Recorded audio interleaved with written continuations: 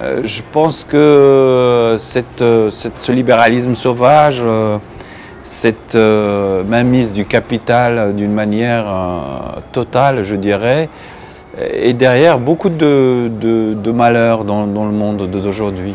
Et, et c'est vrai que je suis interpellé par l'état du monde. Je veux dire, il y a un moment donné, j'essaye, je me bats, je ne voudrais surtout pas être passéiste. Mais des fois, je suis obligé quand même de reconnaître euh, qu'on n'est pas dans la, même, la meilleure période de l'histoire de l'humanité. Moi, des fois, je me dis comment parleront nous, euh, les générations dans 100 ans? Eh ben, je pense qu'elles diront que c'était une époque médiocre quand même. Donc, euh, donc je- j'essaye de comprendre pourquoi on, est arrivé, on en est arrivé là, pourquoi le monde dans lequel on vit aujourd'hui, les libertés reculent, euh, le, retour du conservatisme, euh, euh, la peur, la violence. Qu'est-ce que ça exprime tout cela? C'est vrai que c'est un film comme ça sur, l'occupation de l'intime par cette actualité du monde. Et, et aussi c'est un film sur l'humiliation aussi et la dignité.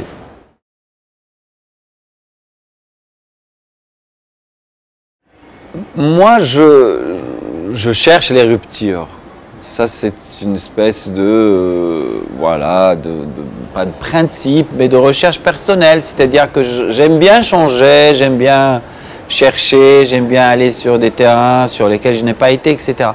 Mais euh, au fil des films, je me rends compte quand même, et par euh, aussi ce qu'on dit des films, ce qu'écrivent les critiques, ce que disent les gens quand je les rencontre, qu'il y a quand même une continuité. Et, euh, donc aujourd'hui, je peux dire que c'est un film avec lequel, euh, oui, j'ai essayé des choses, c'est vrai, mais, je pense maintenant qu'il y a aussi quelque chose qui lie les films. Il y a sûrement une continuité, donc je, continue à creuser des pistes. Je pense que c'est un film, euh, c'est un film euh, où il y a le plus de gros plans dans, dans ce que j'ai fait jusque-là. C'est un film, je crois, où on est plus proche des comédiens et de l'émotion, je pense.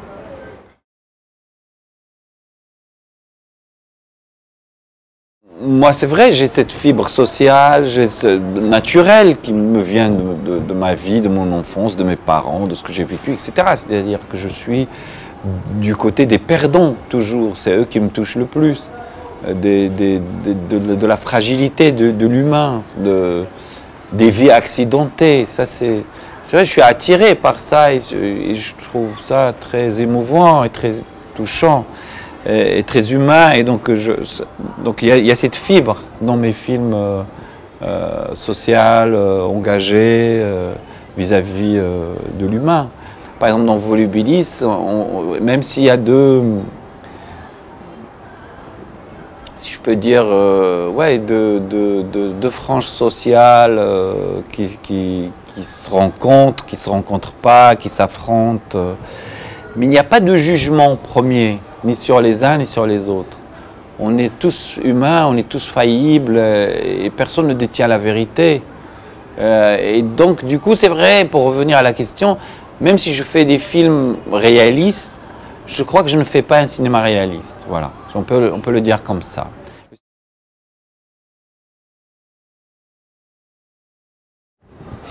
Alors, c'est très étrange, c'est-à-dire que je pense que je pense que je peux avoir un rythme de production de films, c'est-à-dire de leur réalisation, beaucoup plus court, je pense.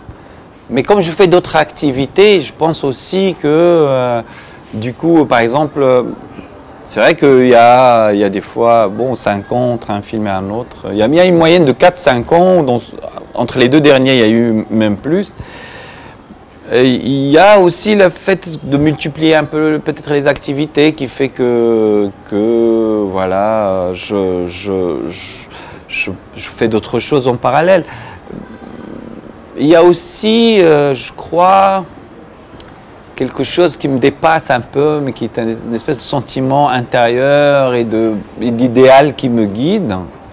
C'est-à-dire, je n'imagine pas produire des images de manière absolue que je laisserai derrière moi et qui seront insignifiantes ou qui seront vouées à l'oubli de l'histoire.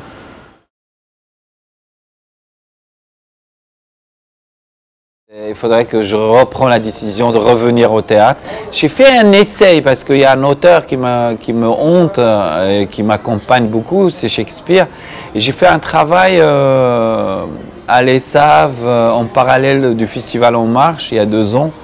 On a fait pendant cinq semaines un, work in progress. On a travaillé sur l'œuvre de, de, Shakespeare et on a fait comme ça 40 minutes de spectacle, mais qui n'était pas un spectacle exploitable. Euh, et, on a travaillé sur Shakespeare dans la langue locale, euh, dans en faisant un travail euh, que j'espère, en tous les cas, qui était très intéressant, très profond avec les acteurs.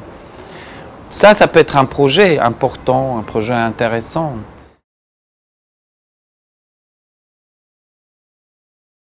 Je pense qu'on se trompe des fois sur les raisons pour lesquelles on fait les films. Euh, j'ai l'impression aussi euh,